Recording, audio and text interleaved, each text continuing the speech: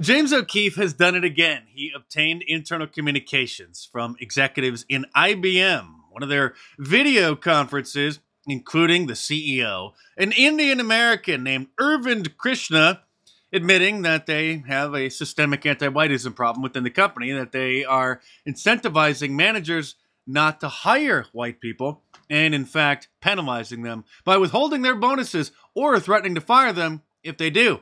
And even better, a very special law firm now is involved in pressuring the Equal Opportunity Employment Commission within the Justice Department to, well, sue them for discrimination. But first, Today is the last day I'm told to order any of my shirts at markdice.com. Be sure to get them in time for Christmas using regular shipping. So don't be a slacker. Get your orders in today for your Trump Claus sweatshirt or your Wanted for President Trump mugshot shirt, Conspiracy Theorist Right shirt, Ultra MAGA Operation Mockingbird shirt, any of my awesome designs. And get 20% off this week by using the promo code SANTA at the checkout linked in the description below. James O'Keefe, who founded Project Veritas back in 2010, I believe, was forced out earlier this year after the board of directors said that he Uh, ate some staff member sandwich and he wasn't nice enough to the staff, as you may recall. And so he started his own investigative journalist organization called OMG, the O'Keefe Media Group, which has been doing, well, the same exact thing that Project Veritas did because James O'Keefe is Project Veritas. More on them in a moment, but here is the latest OMG investigation. Now, these videos are from 2021, but James just got them. They just surfaced. And like I said, wait for it because looks like there's going to be an investigation into IBM by the Justice Department for discrimination because of this. So we take underrepresented and gender. You got to move both forward by a percentage. That leads to a plus on your bonus. By the way, if you lose, you lose part of your bonus. I'm not trying to finesse this. So for blacks, we should try to get towards 13 point something percent. On Hispanics, you got to get into the mid teens. So let me say it. Asians in the US are not an underrepresented minority in a tech company.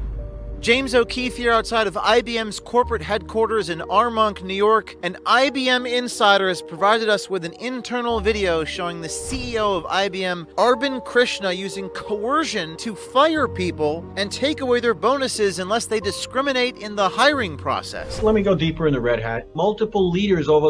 Red Hat, by the way, is a subsidiary of IBM the last year plus that were held accountable to the point that they're no longer here at Red Hat because they weren't willing to live up to the standards that we set in this space. This conversation takes place every single day, and, and a lot of it's behind the scenes. They terminated executives that didn't discriminate, yet another violation of Title VII. One of the biggest companies in the world, one of the most valuable and recognizable brands on earth.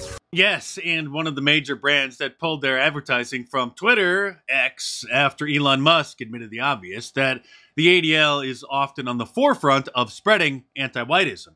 And so he commented on James O'Keefe's report, calling it obviously illegal, responding directly to James, where he had posted the video on X, saying extremely concerning and obviously illegal. But wait, there's more. Stephen Miller's law firm, the America First Legal Foundation, sent a demand letter to the U.S. Equal Employment Opportunity Commission saying, in part, uh, the America First Legal Foundation is a national nonprofit organization working to protect the rule of law, due process, and equal protection for all Americans. We write pursuant to 29 CFR, that's the code that they're uh, violating, seeking assurance of a commissioner's charge for an inquiry into individual or systemic discrimination by International Business Machines Corporation, IBM. And when the chairman of the IBM subsidiary Red Hat here admitted that the conversation takes place every single day and a lot of it behind the scenes, he was admitting that he knows what they're doing is illegal. And despite them tipping their cards and admitting it, privately, they're a lot more explicit about their anti whiteism and anti Asian practices.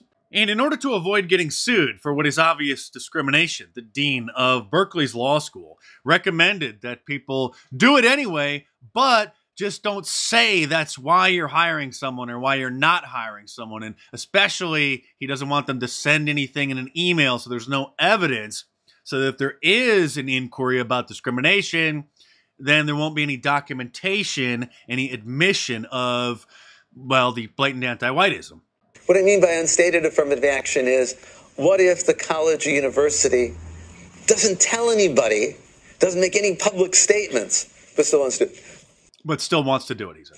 I'll give you an example from our law school, but if ever I'm deposed, I'm going to deny I said this to you. Um, when we do faculty hiring, we're quite conscious that diversity is important to us. And we say diversity is important, it's fine to say that. But I'm very careful when we have a faculty appointments committee meeting. Anytime somebody says, you know, we should really prefer this candidate over this candidate because this person would add diversity, don't say that. You can think it, you can vote it, but our discussions are not privileged. So don't ever articulate that that's what you're doing.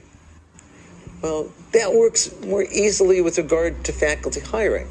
You know, come to think of it, James O'Keefe uncovered some systemic anti whiteism at Best Buy earlier this year, back in August, when he revealed that they have a leadership training program that excludes white people. And since Project Veritas forced James O'Keefe out of the very organization that he founded and built over a decade, nobody has paid any attention to what they have done. I don't know if they've done anything because, like I said, James O'Keefe was Project Veritas. But it turns out back in September, they laid off a bunch of workers and paused fundraising, the new CEO said, which I'm sure the fundraisers were paused because who would donate any money to Project Veritas when you could just donate that money to James O'Keefe, who continued to do fantastic work while Project Veritas has done um, nothing. And yesterday, the new Project Veritas CEO, I don't know how you can be a CEO of an organization that does absolutely nothing, but she finally quit and claimed that it was because there was strong evidence of past illegality and past financial improprieties which they tried to blame on James for spending too much money on Ubers. Seriously, that was what they said. Too much money on Ubers. So, with the way things are going, with Owen Schroyer being sentenced to prison for questioning the outcome of the 2020 election and Douglas Mackey being sentenced to seven months in prison for posting a meme, I wouldn't be surprised if a New York DA indicts James O'Keefe claiming that he committed supposed fraud because that's what happens in a Marxist country. They target any political opponent and anybody who is causing problems for the regime. Project Veritas hasn't posted anything on their YouTube channel for over a month. They haven't posted anything on Twitter, X, for over a month. And so it looks like the organization is effectively toast. They probably spent their remaining few dollars on a 12 pack of Bud Light, and they won't be missed. Bye bye.